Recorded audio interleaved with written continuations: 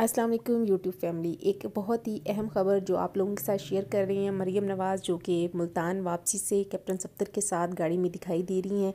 तो आप लोग देख सकते हैं कि मरीम नवाज़ ने गाड़ी रोक के कैप्टन सफ्तर को बहुत ज़्यादा बातें सुनाई मीडिया के सामने, जिसके बाद कैप्टन सफ्तर भी चुप ना रहे। तो उन्होंने भी मीडिया पे आके जो मरीम नवाज़ का है, वो भी पोल खोला कि ये कभी मुझे ड्राइवर बना देते हैं, कभी मेरी ड्यूटी जो है वो नारों में लगा देते हैं। तो बहुत बड़ी ज़्यादती है ये और अभी आपको क्लिप सुनवाते हैं।